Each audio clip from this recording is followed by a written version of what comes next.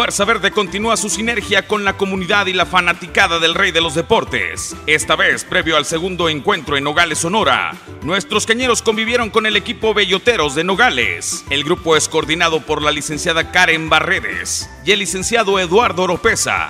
Esta gente emprendedora da a las personas con discapacidad y oportunidad de practicar el Rey de los Deportes, enfocándose principalmente en los niños con entrenadores altamente preparados. Tienen como objetivo incluir en la sociedad a todos sus alumnos mediante el deporte. Próximamente darán un gran paso al viajar a Tijuana para enfrentar otros equipos con el mismo propósito. Esta labor es de aplaudirse y como tal, el Club Cañeros de los Mochis le desea la mejor de las suertes y el más grande de los éxitos.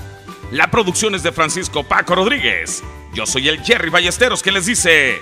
¡Con permiso!